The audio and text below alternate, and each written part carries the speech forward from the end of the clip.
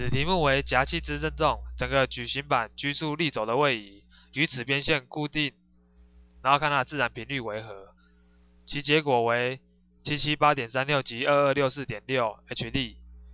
然后本题目的材料模数为三乘以十的七次方，密度为零点二八一二，然后补充比我们预设为零点三，然后薄壳一应取。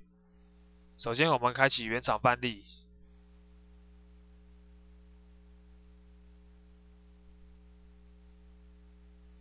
先建立一个专题，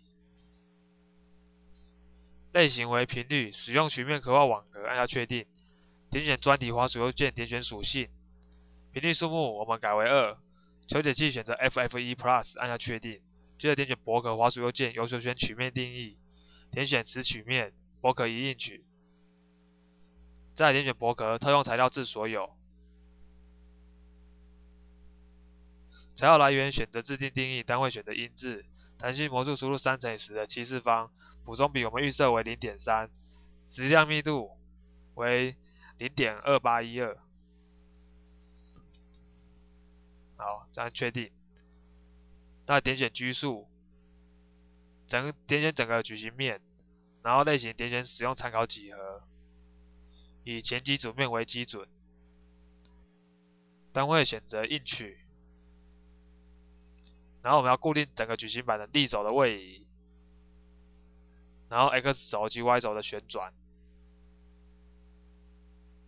那要确定，然后于这个边线上点选拘束，然后这个边线是靠墙那边的边线，然后这个是固定，那确定，好，这样拘束条件都完成，点选网格，网格的整体尺寸改为零点七五。然后将网格化完成后执行分析打勾。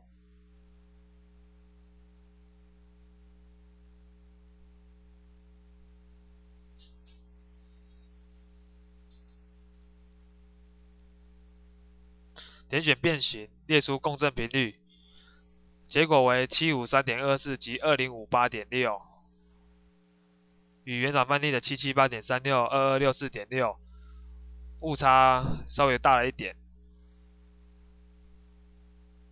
差到百分之十左右吧，但是它结果也是为正确值。